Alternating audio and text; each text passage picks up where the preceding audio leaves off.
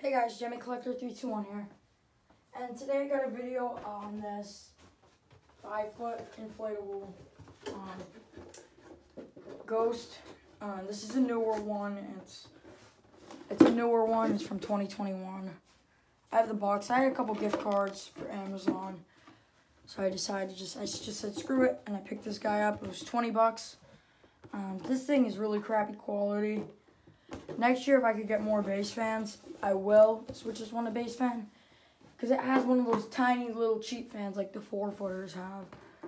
But I'm like, yeah, with stakes, tethers, all that. I'm like, here's one last look at the box. I'm like, yeah, it's pretty good. Um, one came broken pretty much. The adapter piece was kind of messed up. So I just wired in a new one and it works now. So like, yeah, there's not really much more to say about this. It has two string holders. And like, oh, one more thing before I plug this guy in.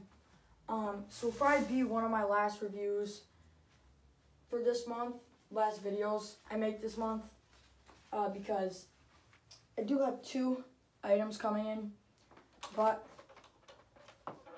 excuse me, I do have two new items coming in, but I'm not going to make videos on them until I do have two new items coming. Let me rephrase that. I do have two new items coming in, but I'm going to be really busy since I'm moving into a new house and all that, so, and starting school and stuff like that, so, but I won't be able to make videos on them till, like, September or something, so, yeah, I'm going to just plug it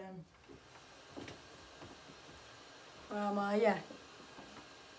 It's a nice ghost. I mean, I like the design, but I really wish it did not have the tiny itty bitty cheap man.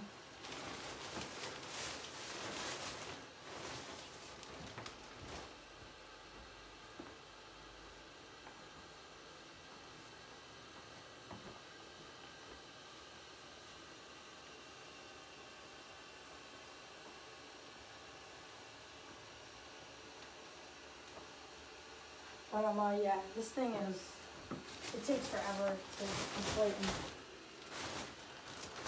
just using this. No. The bean bags are really heavy in this thing, um, as you can see. Thing is really, really heavy bean bags. But I'm like, yeah. Got them all adjusted, situated, and whatnot. So yeah. There he is. He's got a little trick-or-treating bag. Um, two string holders, one for two string holders and then two stake holders.